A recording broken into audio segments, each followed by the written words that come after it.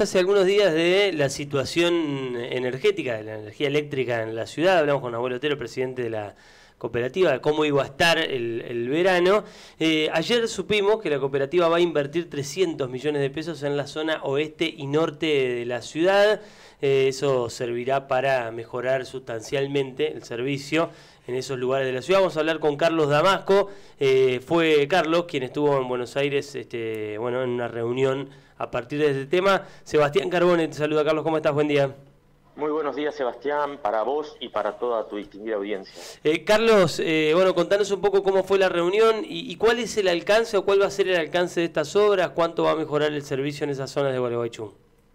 Bueno, eh, te cuento, este, eh, nosotros desde que asumimos en la gestión eh, teníamos dos obras o tres que necesitábamos sacar adelante. la más importante para, para, el corto y mediano plazo era el alimentador 33 Oeste, que en los últimos años Gualeguaychú crece hacia el oeste y el noroeste de la ciudad. Eh, se han otorgado factibilidades en, eso, en, ese, en el oeste y noroeste de suministros habitacionales en 3.150 lotes aproximadamente y en la actualidad se encuentran en etapa de ejecución 1.670. Es decir, que era necesario mejorar la calidad del servicio de nuestros usuarios y, proyectar hacia el futuro para una, para una demanda futura. ¿no? Esta estación transformadora que yo estuve gestionando ayer, estaba viendo eh, si bien, como te contaba, eh, en noviembre tuvimos la primera reunión con la Secretaría de Energía de la Nación, eh, agarró más, más ímpetu y a partir de, la asunción de la ingeniera Flavia Rollón en la Secretaría de Energía, estaba viendo acá la fecha, el 12 de agosto me comuniqué por primera vez y el 25 de agosto hicimos nuevamente la presentación de la carpeta. Y bueno, a partir de ahí se fueron, se fueron dando reuniones y, intercambiando documentación. Así que bueno, eh, en horas de la mañana de ayer eh, tuve una reunión con, la Secretaría de Energía y me prometió que en 15, 20 días estábamos firmando eh, el convenio para la ejecución de la obra, que por supuesto eh, no es que va a invertir la cooperativa, sino que el gobierno nacional, a través de la Secretaría, eh, va a hacer una inversión eh, importante en Gualeguaychú. es una obra de singular importancia para nuestra cooperativa porque tiene una extensión de 5.300 metros, parte de la estación transformadora, transformadora, de Nersa en calle Tropas y Borrajo. se proyecta un, tendido subterráneo, que eso es muy importante, hasta Boulevard Martínez. Eh, ahí se, el, tendido se hace aéreo y continúa Boulevard Martínez, eh, Boulevard de María, hasta llegar a calle Perigan, donde en un lote eh, vamos a adoptar una subestación con dos transformadores de 1600 kVA. y vos decís en 15 o 20 días van a estar firmando y la obra cuándo se va a ejecutar y cuándo se va a finalizar.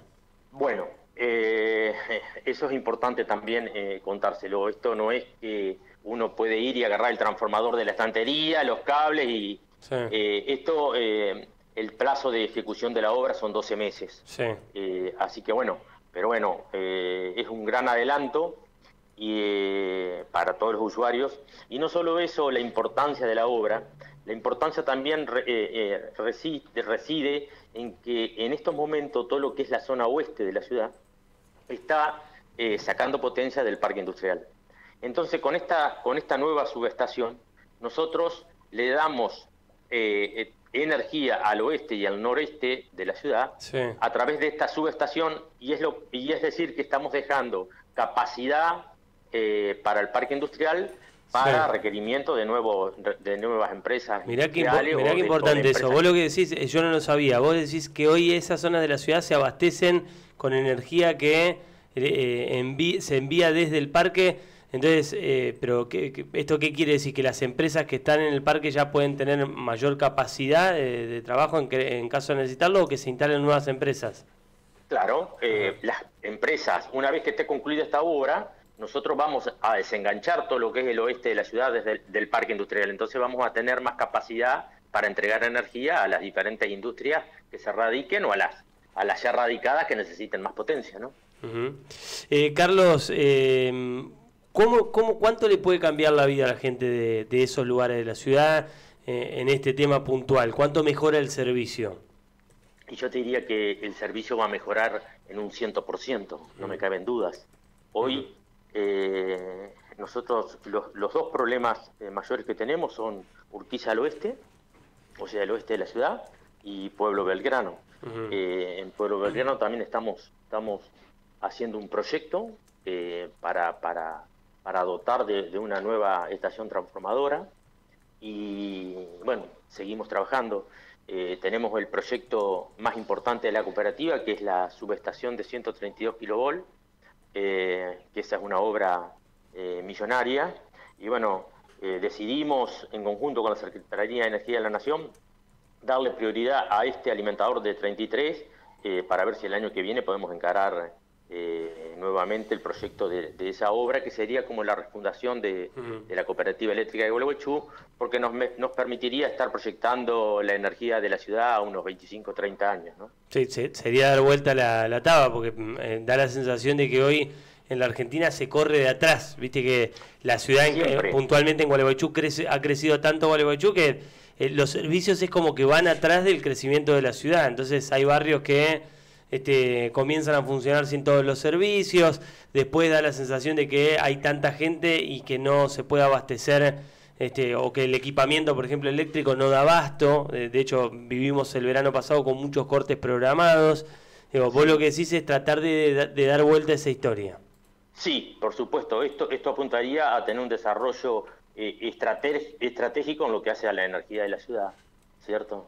Con respecto a lo que vos bien comentabas recién de, los cortes programados, te digo también que la cooperativa encaró eh, en el mes de marzo eh, la compra de 1.500 metros aproximadamente de un cable especial que es subterráneo, que es el que une la subestación de Nersa con eh, la estación nuestra de calle Goldaracena. Lamentablemente por problemas de, la empresa que, en donde compramos los cables, no hemos podido hacer eh, la ejecución y el cambio de, dichos conductores. Eh, y esos conductores son los que nos, hacen, eh, como son subterráneos y, si hubiera algún problema, no sabemos cuánto tiempo demoraría la, reparación en tener que hacer los, cortes rotativos, ¿cierto? Pero bueno, lo que te quiero decir es que tenemos la obra, la, la obra civil ya encarada, y estamos a la espera de que el, el proveedor de, los cables, que ya te digo, se compraron en el mes de abril y no han sido entregados a la fecha, se compraron y se pagaron, por supuesto, eh, nos entreguen dichos cables para poder solucionar ese tema que también eh, le va a cambiar eh, la vida a, los usuarios de, nuestra cooperativa, ¿cierto? A todos nosotros. Carlos, tener que sufrir buen día, ¿cómo te va? Mónica Farabelo te saluda, ¿cómo estás? Hola Mónica, buen día. Muy bien, te consulto sobre lo mismo que le hablábamos con Abuelo Otero, qué va a pasar en el mes del Mundial. Digo, va a haber mucha demanda, hace calor, la gente conecta mucho más o prende los aires acondicionados. ¿Cómo, cómo esperas que pasemos este verano? Bueno, eh, a ver, un poco lo que vos me estás preguntando es lo que yo te estaba comentando. Nosotros en marzo, previendo eh, lo que podía llegar a ocurrir, eh, para que no ocurriera lo mismo que había ocurrido en el verano, eh, nosotros encaramos esta obra del recambio de, los cables subterráneos y bueno, lamentablemente al día de la fecha no hemos recibido los cables. hemos intercambiado carta de documento con la empresa y bueno, estamos a la espera de, que nos entreguen los elementos para poder sustituirlos. Así que vamos a estar más o menos igual que el verano pasado. Yo te diría, a fuerza de ser totalmente sincero, que sí, que vamos a estar, pero no por un problema que no, nos hayamos preocupado desde el Consejo, sino porque incumplieron con el plazo de entrega la empresa eh, productora de cable, ¿no?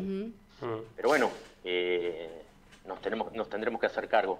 Em, yo creo que, que, no vamos a tener tantos inconvenientes, eh, los horarios tampoco son en horarios donde, donde haya mucha mucha utilización de, aire acondicionado, pero bueno, esperemos que, no pase a mayores y que pueda eh, resistir bien eh, la red eléctrica de Volvochú, ¿no? Mm, ojalá que sí. Carlos, gracias por el tiempo, un abrazo. No, muchas gracias a ustedes y a disposición como siempre. Abrazo grande. Carlos Damasco de la Cooperativa Eléctrica con un anuncio muy importante que es esto de los 300 millones de pesos este, para generar subestaciones en la zona norte y oeste de la ciudad. Fundamentalmente por esto que contaba Carlos, que la verdad que yo no lo conocía, que es eh, que es desde el parque se abastece a estos puntos de Gualeguaychú y la posibilidad de, primero mejorarles, según decía él, el 100% del servicio, pero además liberar capacidad en el parque, en algún momento se vendrán a instalar nuevas empresas. ¿no? Ojalá, ojalá que sí, pero sí ha pasado que, por ejemplo, eh, si hay algún tipo de inconveniente en el parque industrial o hay alguna ruptura, me acuerdo un verano, una ruptura de un cable subterráneo que tenían como que rastrear eh, dónde había sido eh, la interrupción y el corte y había quedado toda la zona oeste sin luz. Y por otra parte, lo que decía Carlos también, la importancia de avanzar después que se termine con esto en la zona de Pueblo Belgrano, porque Pueblo Belgrano también es abastecida a través de la cooperativa eléctrica de Gualeguaychú, entonces también digo, es una zona que está creciendo muchísimo, que se están instalando cada vez nuevas viviendas, se están haciendo nuevos loteos y se, necesita mucho del servicio. 11 horas, un minuto.